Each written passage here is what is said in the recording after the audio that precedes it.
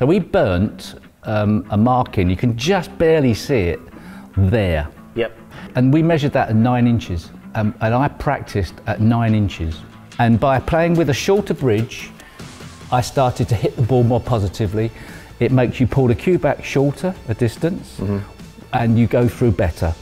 Okay, whenever we get one of the top players, we always ask them to give us a cue tip. What's yours going to be, Steve? Obviously, you don't want to play a shot, so you're going to go more in depth, are you? A bit like the demos Okay. we do. We have to do demos. It's a very Well, strange.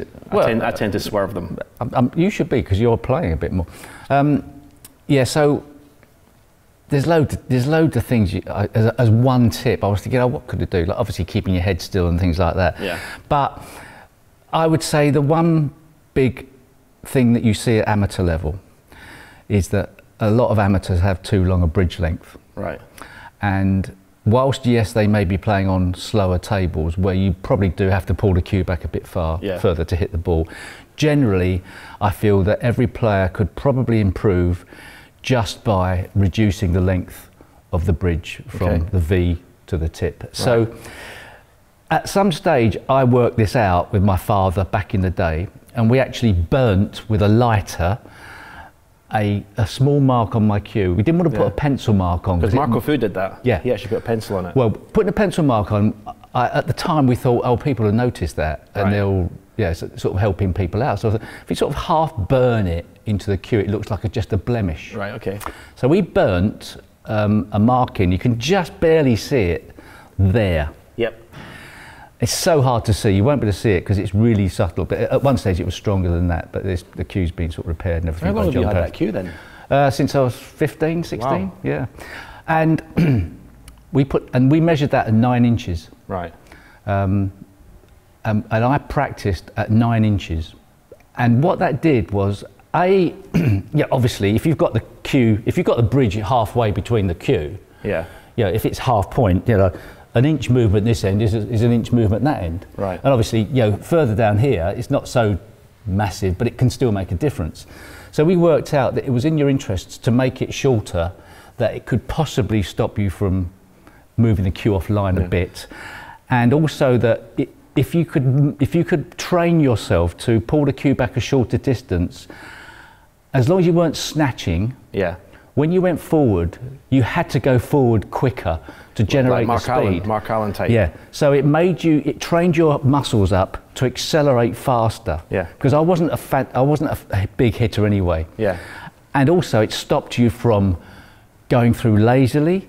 It's the, the old the old deceleration, Yeah. as we call it. So I think certainly whether it's deceleration or, or whatever it is, it's certainly not attacking the ball. Mm. No. And by playing with a shorter bridge, I started to hit the ball more positively. It makes you pull the cue back shorter a distance, and you go through better. More So, accurately, yeah. and and the surprising thing is, you pull it back shorter. You think you're not going to be able to play the power shots. As you train yourself up, you can. Mm. You start hitting better. A bit like the best punchers at, go- at, at, at, boxing. They don't pull the, the, the, the I'm they sure don't go like that. do throw the odd punch. Yeah, but- yes, they probably do. but th- the slower, if you saw Eric Bristow back in the day, he used to pull the dart back all the way like that. Yeah. That's when he had the problems trying to get back to Right, throw okay. it. But that, a shorter, a shorter distance is more positive. I think that's what because when I when I play, I think a long backswing feels great.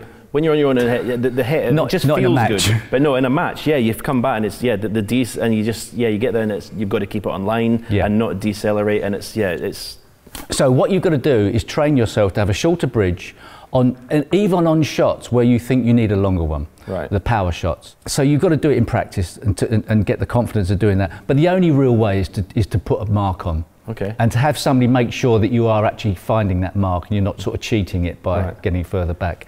And that way, you will encourage yourself to pull the cue back a shorter distance, Mm.